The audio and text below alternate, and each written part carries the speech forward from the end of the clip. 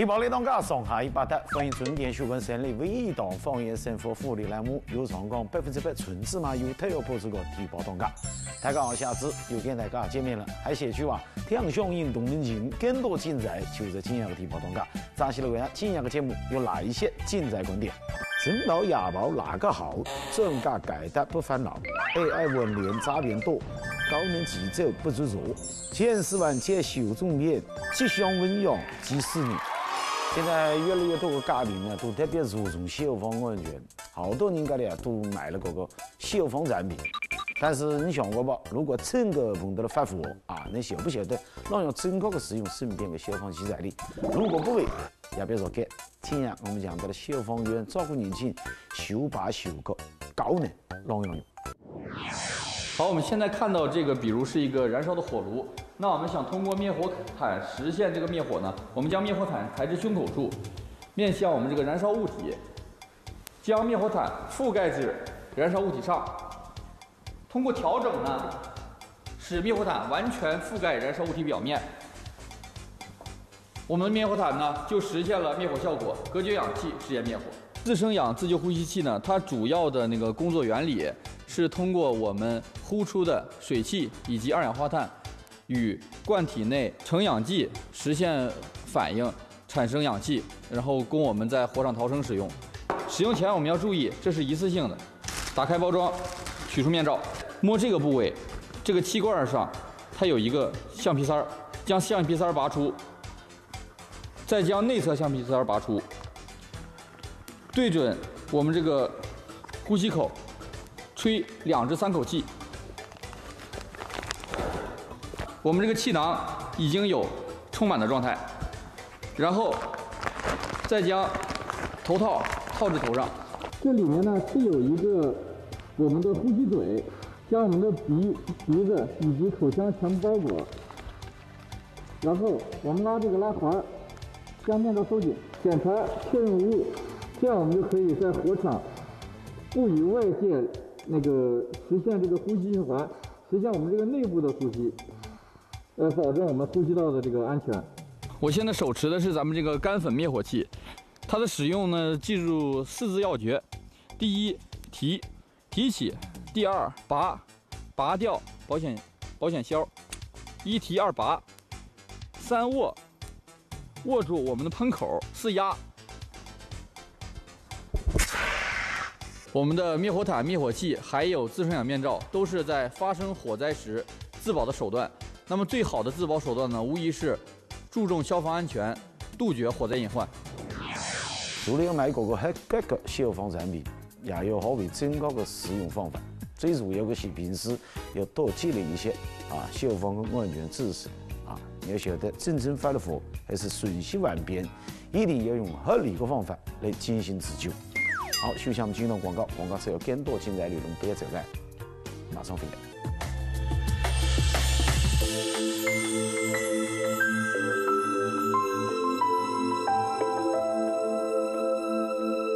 Hello，大家好，我是乒乓球冠军孙婷。我爱玉，更愿意带您选玉。工厂价选购各类缅甸翡翠、和田玉手镯、挂件等，就来江西二套翡翠展。各种冰种、糯种翡翠、和田碧玉、白玉，打造冠军的品质。让您轻松拥有高品质翡翠和田玉。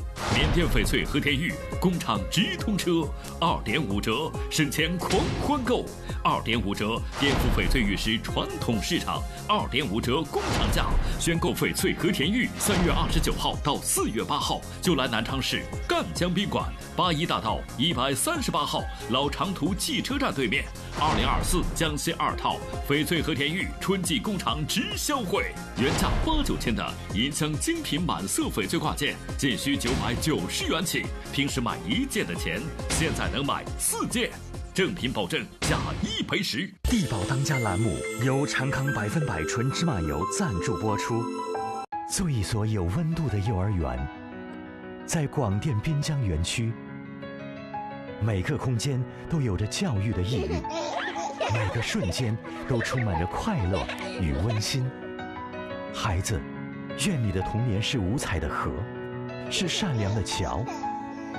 愿你的未来是七彩的路，是精彩的书。广电滨江幼儿园，爱与成长并肩前行。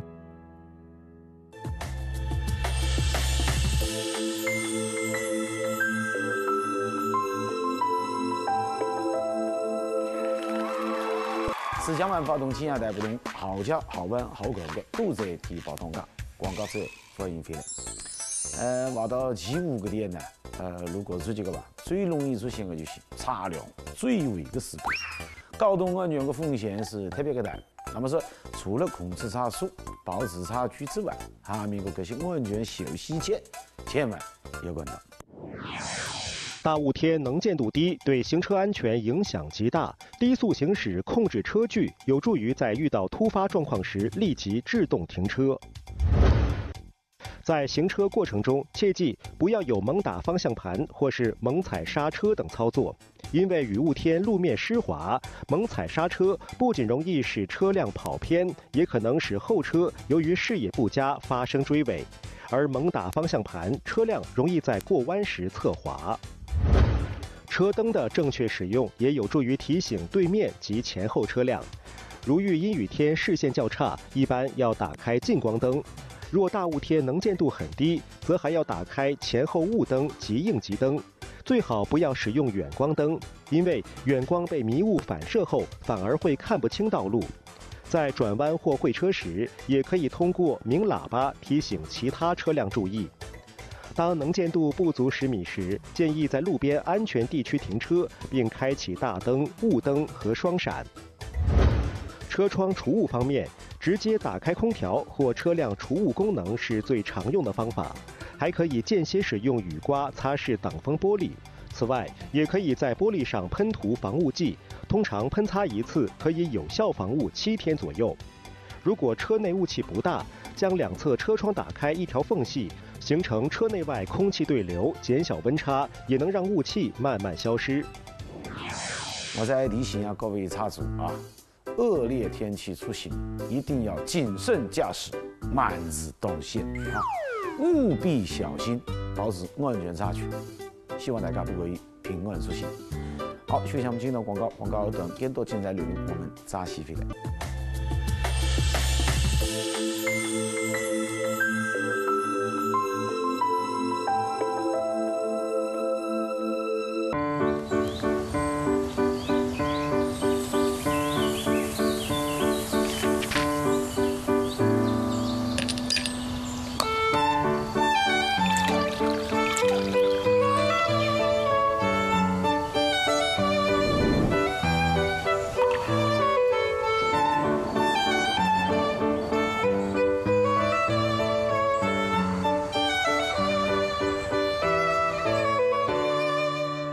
放心，绿泰双低压榨菜籽油，长康绿泰大米，只选用新鲜的大米，天赐美食，粒粒新鲜。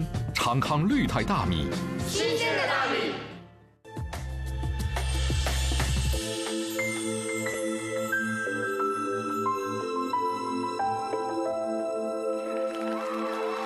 政府马拉松全山没有档，更多精彩，我们接着分享。广告之后，欢迎回来。呃，我们接下来关注的是运动的话题啊。随着天气啊慢慢的转暖了啊，一些跑步的爱好者又开始了啊自己的脚步。在众多的跑友当中啊，哎，有些人就啊，哎，就习惯晨跑，但是有些人呢只选择夜跑。两者的优势跟注意的事项，大家都了解了不？一些朋友表示，喜欢晨跑的原因在于清晨的空气相对清新，环境宁静，用跑步迅速唤醒身体，为一整天注入活力和积极的心态。业内人士表示，清晨全身肌肉和器官都还在放松状态，此时进行适当的锻炼可以唤醒身体，加快新陈代谢。而且空腹进行有氧，身体会消耗脂肪来功能，对于减脂瘦身也有一定的作用。但由于身体经过一夜的休息，肌肉、神经、心血管系统尚未唤醒，此时进行跑步运动有很多要注意的方面。晨跑的时候不要过快，就算你想去追求速度，你可能还是。要进行充分的热身，这个是晨跑要注意的事项，包括保暖措施啊什么的，呃，包括跑步之后的出汗，包括可能一些洗澡的问题，可能都需要关注。但是对于我们正常来讲，一个是温度，一个是。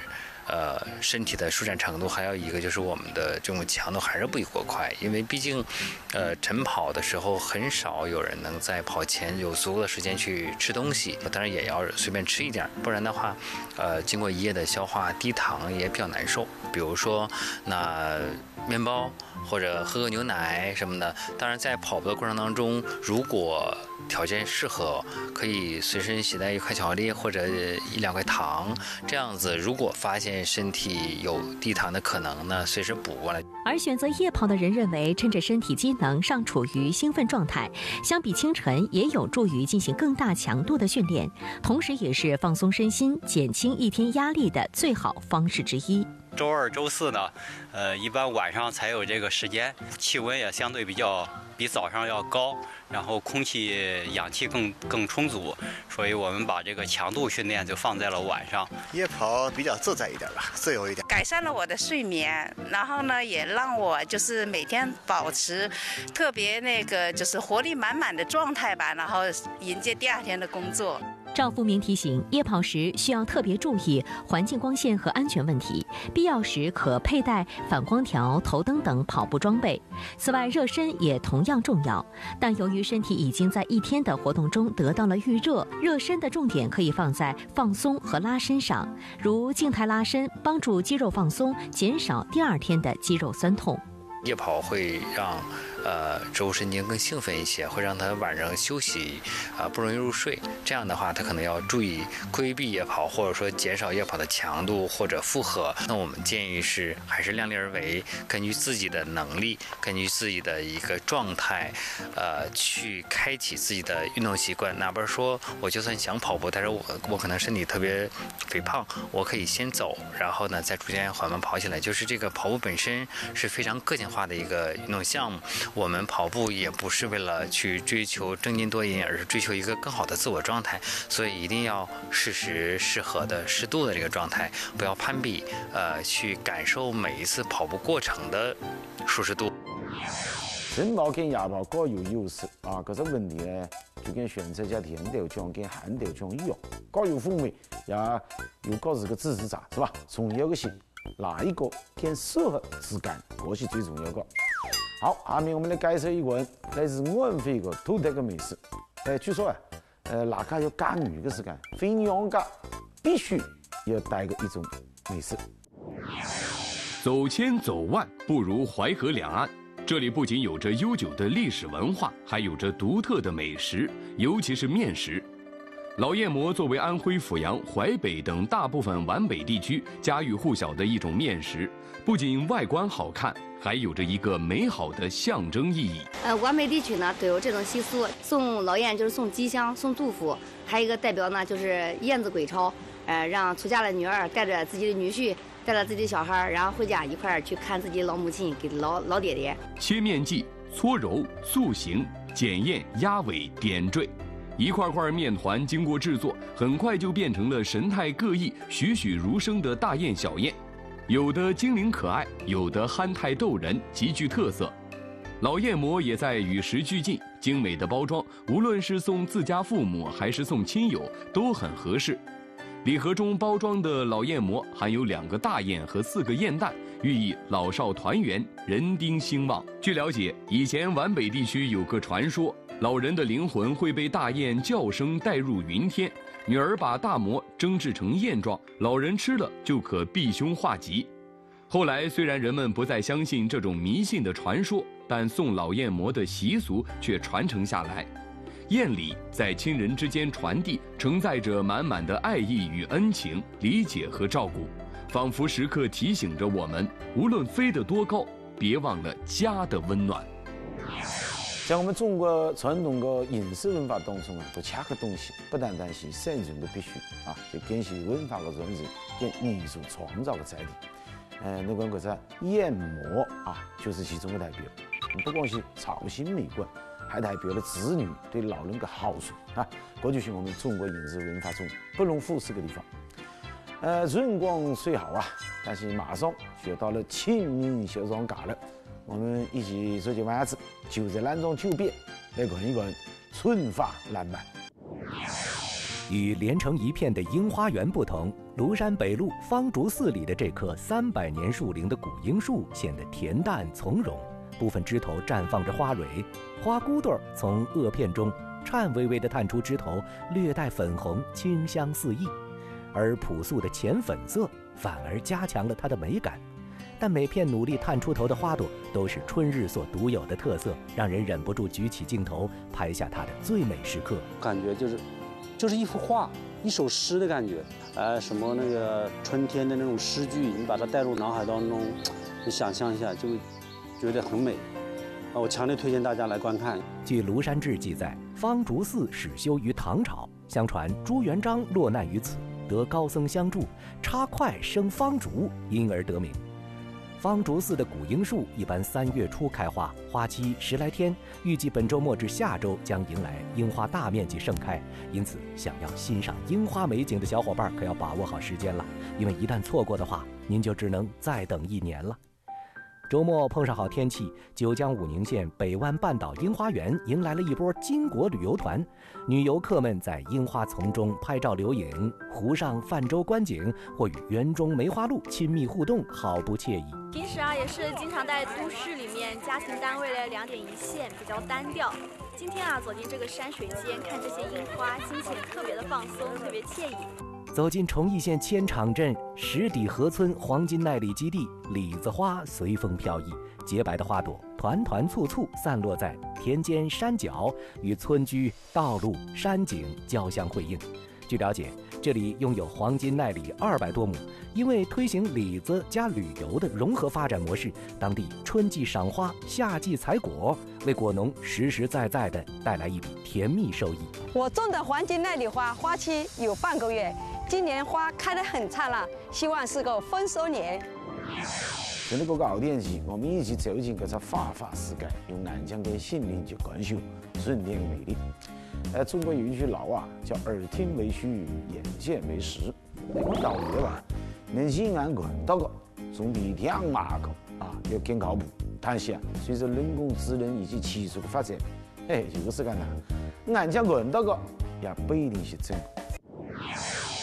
陕西西安某公司财务人员张女士和老板视频通话，老板要求她转账一百八十六万元到一个指定账号，让把这个是这个款赶紧转过去，这个款非常着急，因为他那个声音呀，还有还有他那个图像都跟他人长得一样的，所以就更没有就更确信这笔款是他说的了，然后就我们直接就把这笔款转了。转账之后，张女士按照规定将电子凭证发到了公司财务内部群里后，经过沟通，张女士才发现被骗了。张女士的遭遇就是典型的 AI 换脸诈骗案件。为了探究 AI 换脸的真相，记者来到广西大学计算机与电子信息学院，师生为记者演示了用一张照片如何为视频里的主人公进行换脸。这张图片呢，是我事先准备好的啊，我的一张脸啊，这是我要。替换的一张图片，呃，替换的一个视频。大家好，我是广西大学的。现在我们把我的这个人脸放进去，然后我们要把要替换的这个视频也放进去，在这里点击开始生成，它就会生成我的脸。通过 AI 换脸替换过的视频与照片里的人物几乎一样，如果不仔细观察视频细节，很难察觉已经被 AI 换了脸。其背后的核心技术主要包括三个部分。首先呢，需要利用人脸检测与特征提取技术识别视频或图像中的人脸，并提取出像眼睛、鼻子、嘴巴等关键面部特征。其次，使用深度学习相关的技术呢，构建训练一个人脸替换模型。进行人脸替换和融合，最后我们会使用图像渲染等技术对替换后的视频或图像进行优化，生成较为逼真的虚假换脸视频或图像。白副教授说，如果想要实现视频实时通话时采用人工智能 AI 换脸技术，一张照片是远远不够的，需要采集不同角度的近千张照片才能做到。那么，大家该如何判断对方是真人还是经过了 AI 换脸呢？通过仔细观察视频中的一些小细节，如人的眼睛、嘴巴、头发等部位，在虚假视频中呢，可能出现不自然的动作或细微的错误等。通话过程中，先要求对方做一些挥手等动作，通过观察动作周围那些遮挡区域是否出现不自然的图像抖动啊、闪现等情况，来判别这是否是一个 AI 换脸视频。警方提醒大家，在日常生活中不要轻易提供人脸、指纹等个人生物信息给他人，不过度公开或分享动图、视频等。网络转账前要通过电话等多种沟通渠道核验对方身份，不要轻易透露自己的身份证、银行卡验证。码等信息。首先，大家在日常的生活当中一定要保护好个人的信息啊，在网络转账等等环节要多种渠道来验证核实对方的身份啊，不要讲轻易的就透露自己的银行卡还有验证码等等信息。同时啊，可以在视频电话当中要求对方做一些动作啊。呃，观察呀，是否是有没有图像啊、抖动啊等等不自然的现象，用来判断是否是 AI 换脸。在今年的春节联欢晚会上，有一个节目给大家留下了深刻的印象，叫年景。哎，这个年景啊，展示的是汉、唐、宋、明四个朝代，呃，中国的传统吉祥纹样。哎，好多人看了以后都哇好加嘎，但是，呃，有的人就不一样，看完了居然呢，还真给他去。变出来。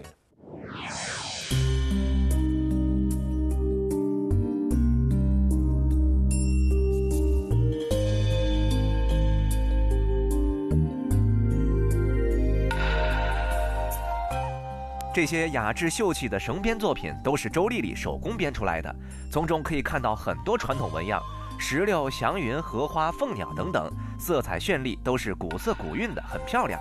难以想象，这些精美的作品都是用一根根的线编出来的。对，这是蜡线，蜡线，它上面涂的有一层蜡。主体一般都是用蜡线。主体基本上是蜡线，因为它塑形比较好。周丽丽展示了编织的过程，几根线排好，用夹子来固定，然后就按照顺序开始编织打结。中间会根据颜色变化，再加入不同颜色的线。时间那个手上的力度要一致，要不然它到时间不平整。编织有好多年了，先是编一些绳子之类的，后这两年嘛，空余时间比较多一点，然后从网上和吸取了这一点方面的灵感吧。还有对我老公，他也收藏了一些小物件，然后从这上面互相结合吧。周丽丽是七零后，河南信阳人，到南通二十三年了。她的老公刘洋喜欢收藏老物件，但有些老物件拿出来已经不完整了，甚至只剩下一个小零件。周丽丽就试着把这些老物件跟自己的编织融合起来，这一试效果很不错。压金其中的一部分，然后呢，其他的东西都已经没有了，但是这个主件还是很精美，吉祥的一个纹饰。这是三多，这边呢是个佛手。这边是个石榴，这边是个桃子。那么寓意呢？佛手就是多福，这个桃子就是多寿，这个石榴就是多子，又叫烧蓝，银上面烧蓝，然后配合这个颜色，然后自己把它编成，呃，这样一个小小作品。老物件再利用，一下子有了新风采。夫妻两个都觉得这种形式很好，平时还经常商议着怎么做得更好。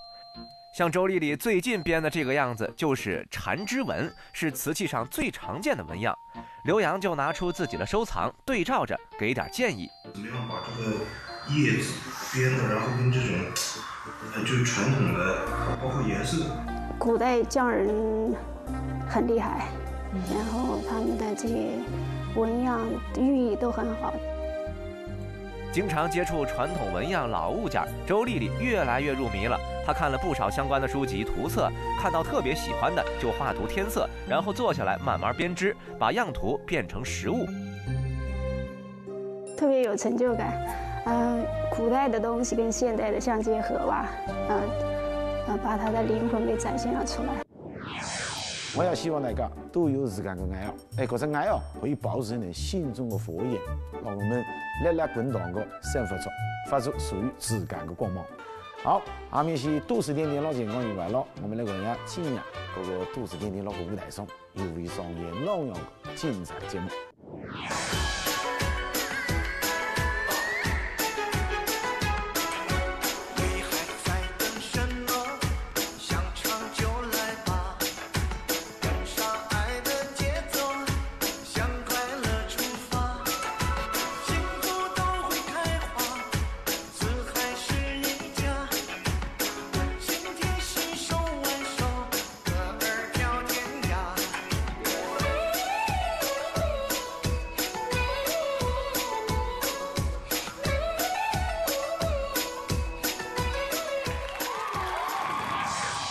过好五好精神，快乐传递不能停呐！欢迎大家，呃，登上我们舞台，给我们带来更精彩的节目。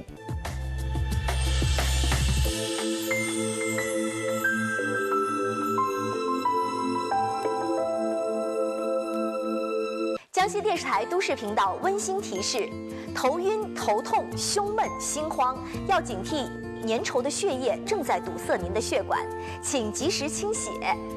血液清，血管通，心脑才好。经常头晕头痛，要清血；经常胸闷气短，要清血。用清血八味片，血液粘稠，堵塞血管，导致心脑缺血，引发头晕头痛、胸闷气短，容易堵了心和脑。清血八味片，二百七十余年清血古方。作为一种治疗高血粘导致心脑缺血、引发头晕头痛、胸闷气短的药物，荣获国家专利。清血八味片助您血液清、血管通、心脑好。头晕头痛要清血，胸闷气短要清血。清血八味片认准蒙奇牌。要知道贵以专，专更对症。病之治重在源，治病必求于本。就像舒筋健腰丸的诞生，专药专治腰椎间盘突出引发的腰疼、腿疼、腰膝酸痛。陈李济中华老字号，始创于一六零零年，四百余年专研中药，配方专注，药材专选，工艺专精，成就了舒筋健腰丸的专药专治。舒筋健腰丸专药专治腰椎间盘突出引发的腰疼、腿疼、腰膝酸痛，强筋骨、去疼痛。舒筋健腰丸对症，舒筋健腰丸专药专治，古方正药，值得信赖。舒筋健腰丸，广州白云山陈李济，济世出好药，传承四百年。Hello，大家好，我是滑雪冠军贾利亚，热烈祝贺都市严选滋补养生节盛大开启！买正宗西洋参，买纯正铁皮石斛，买原产地文山三七，买大品牌灵芝孢子粉，就来都市严选滋补养生节，让您在享受健康的同时，更能享受到冠军的品质和实惠。冠军的品质让您滋补有效，更放心。八十头文山三七，每斤仅需九十九元；西洋参每克五毛九，铁皮石斛每克一块五，印尼进口燕窝每克九块九。深海域原产地大连淡干海参，买一斤送一斤。江中大品牌灵芝孢子粉，每天仅需九块九，限时特惠，买三盒送三盒。各类滋补佳品均可电话订购，货到付款。都市严选七年滋补老店，值得信赖。活动地址：南昌井冈山大道飓风大厦一楼，都市严选。